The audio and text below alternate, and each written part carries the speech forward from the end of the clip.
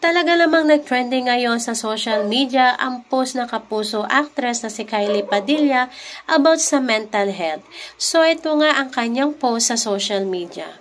Hello social media, I just love my love-hate relationship with you. So this is me lately fighting another bout of existential crisis. I'm very often about my journey with my mental health and the fight goes on.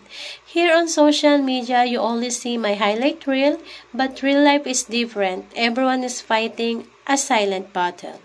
So I'm gonna be trying new things. I have some personal projects coming.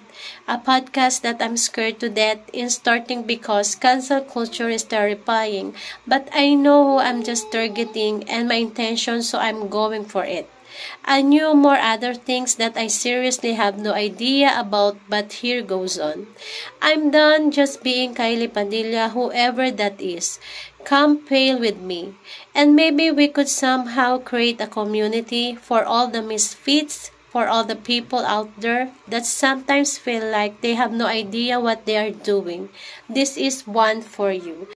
So mga kaiyan nga yung post ni Kylie Padilla about sa mental health na talaga masasabi kung totoo naman.